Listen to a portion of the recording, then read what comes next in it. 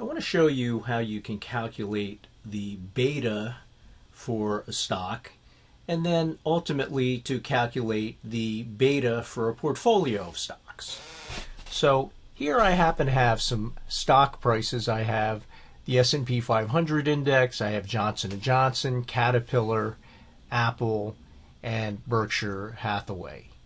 And I've downloaded these from Yahoo Finance. So you can see here, this is um, Berkshire Hathaway. You can type in the ticker, BRK-A,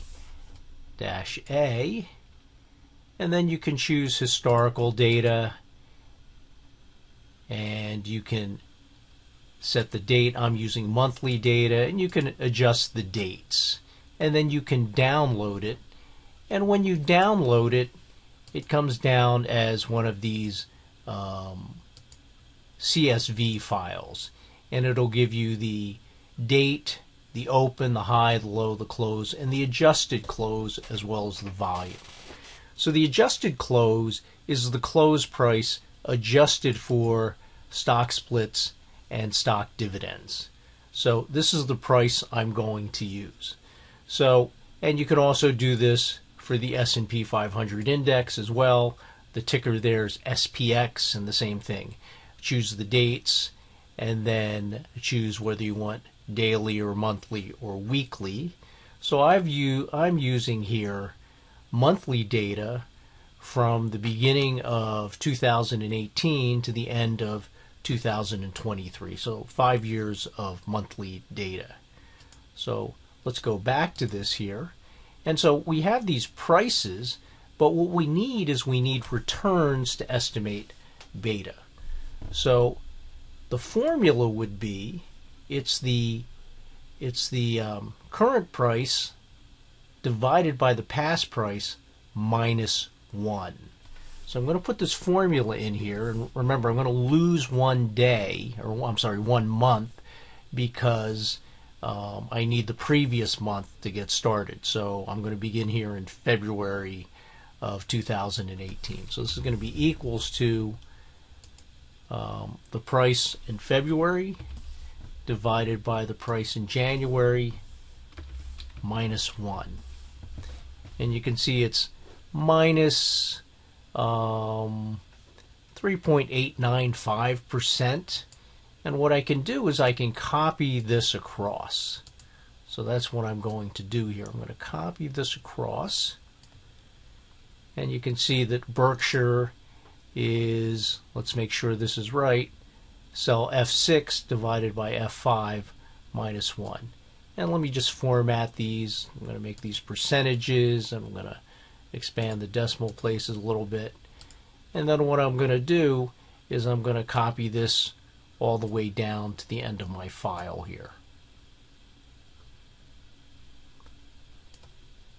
And so now I have the returns for all of these, these companies over this five-year period. So what I want to do is I want to calculate the beta for each one of these. So beta is the slope coefficient when you run a regression of the returns of the company stock against the S&P 500. Now there are a couple of ways you can do this. If you want a lot of data statistically, you can use the data analysis function. So you go to the data tab, data analysis, and then you choose regression, and it'll ask you for the uh, y variable, the dependent variable, and the x variable, and where the output goes and you'll get a lot of information such as uh, the t statistics, the r squared. But really, all we want is the beta, the slope coefficient.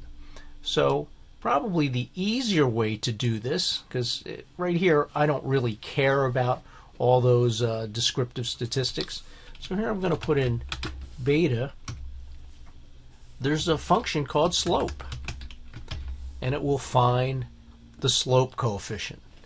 So the first thing we put in is y. So this is the y variable. And then we want to put in the x variable. which is this. And what I'm going to do is I'm going to hit the F4 key because I want to lock that cell so I can copy this across. So we'll use the next one as the Y, but keep this as the X variable. So let's see what we get here. This puts it in percentage terms. It's not really a percentage. It's actually a just a number value. So 0.55, and then let me copy across here. And we get 1.17, 1.27, and 0.86. And just in case we don't remember which companies those are, let me just copy the headings down here and I'll put them right here so we can see. All right, so J&J's beta is 0.55, Caterpillar's 1.17, Apple 1.27, and Berkshire Hathaway 0.86. How do these measure up in terms of the actual company's information? Let's see. So let's type in J&J, and it's going to be a different sample period, so it's going to be slightly different. Let's see what J&J's beta is. 0.53. I believe we had 0.55.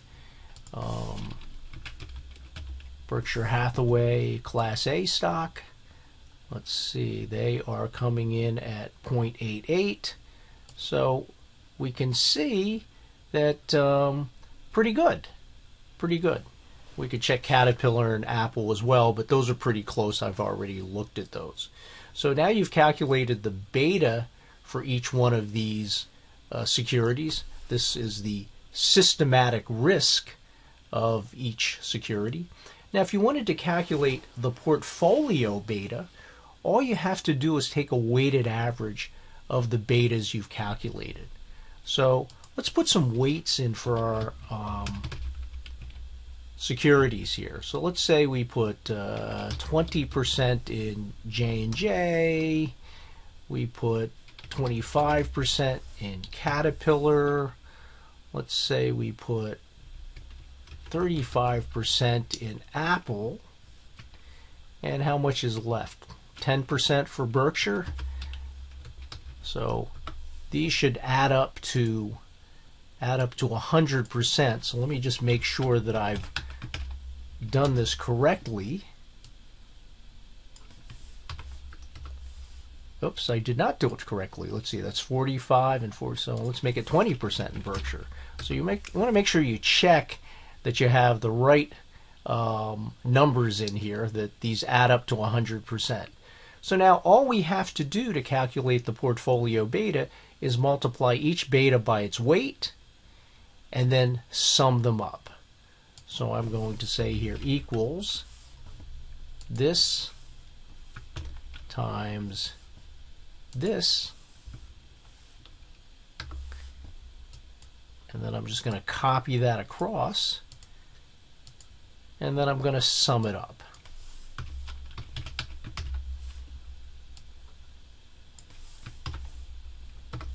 So we get a beta of 1.02. Alternatively, you could calculate the portfolio beta using the sum product function. So if you haven't used it, sum product will multiply, uh, take two arrays. So this is the first array and this is the second array. So it'll take this array and then multiply it by the first one and then add it to what's multiplied by the second one. So a little bit simpler. That's the first array, comma, and then I highlight this. And we should get the same, the same answer. Okay, it's rounded off here. Let me uh, reduce the number of decimal places, but you can see it's also 1.02. So really simple to calculate the betas. So again, you can get this uh, stock price data from Yahoo Finance. You can download it to an Excel spreadsheet, and then you have to convert it to returns. And again, the return is going to be the current price minus, I'm sorry, divided by the past price minus 1. Copy that formula down, do it for all of the um, securities, and then we can use this slope function here to calculate the beta.